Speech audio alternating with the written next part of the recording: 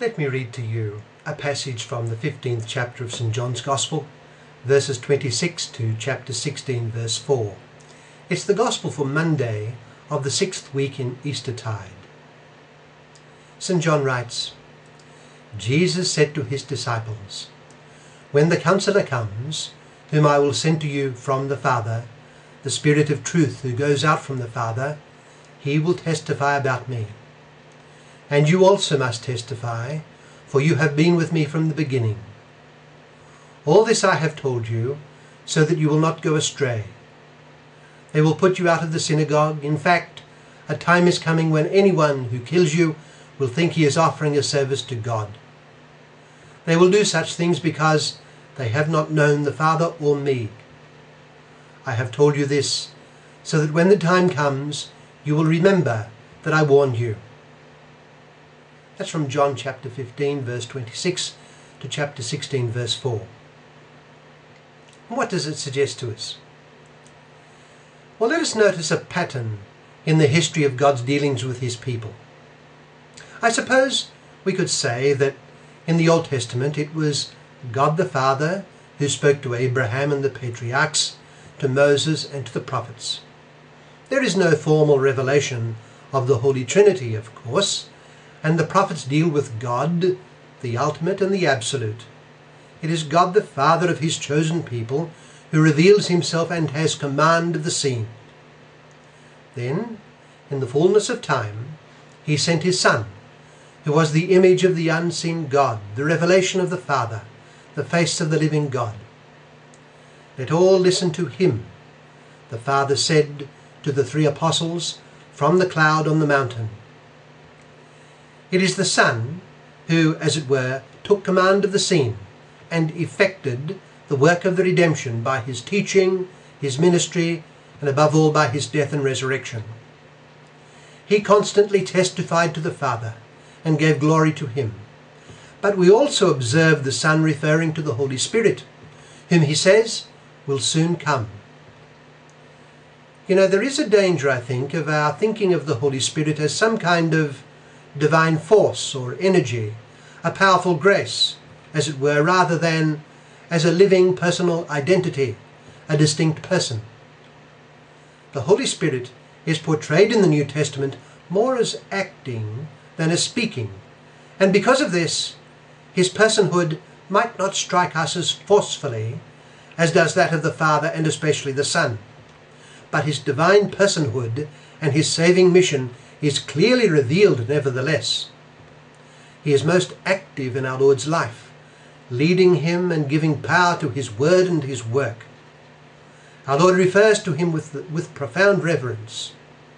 If anyone blasphemes against the Holy Spirit, he said, he will not be forgiven.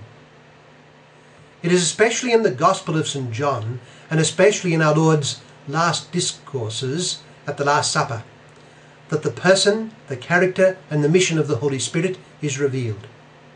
He is the counselor of Christ's disciples and of the church. He is sent by Christ, and he comes from the Father as did Christ himself. He ranks with Christ himself as a divine person, and his role will be to testify about Christ. We may say of the Holy Spirit that just as Christ testified to the Father, with the Father in his turn testifying to Christ, so the Holy Spirit will testify to Jesus, with Jesus in his turn testifying to him.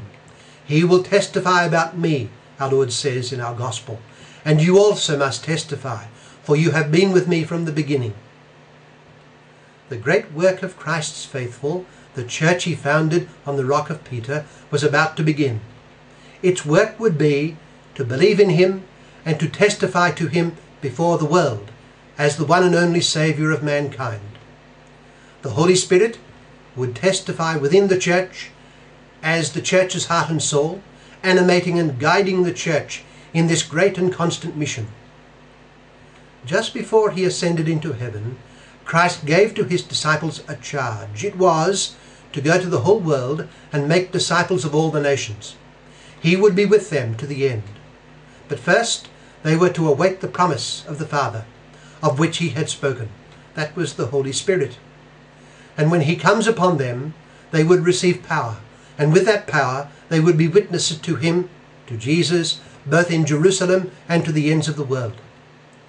So the Holy Spirit is the great evangelizer within the church. He empowers the church to believe in Jesus and in all that he has taught, and he empowers the church to bear witness to Jesus to the ends of the, wor- of, of the world, and including in the midst of persecution. So when Jesus has gone, the Holy Spirit takes command of the field, as it were, just as Jesus had had command of the field before him. All three divine persons, of course, are involved in the work at every point, from the call of Abraham to the end when Christ will come as judge. But when Christ goes, the Holy Spirit is given charge, and we see the results very soon. The church begins to expand, and persecution follows. Over three centuries of saints and martyrs, the church emerges as the religion of the empire. The empire falls under the barbarians from the north, and later is powerfully threatened by Islam from the east. But what do we see? Great council after council proclaim the faith of the church, and a new evangelization of barbarian Europe begins. It would lead to a new Christian civilization with many vicissitudes. The Holy Spirit, the evangelizer who has been sent by Christ from the Father, is constantly at work. This same mighty, all Holy Spirit of the Father and of the Son has been given to each of us who are baptized into the family of the church. He is God's gift to the church and to each of us, and he testifies in our hearts to the truth and to the person of Jesus.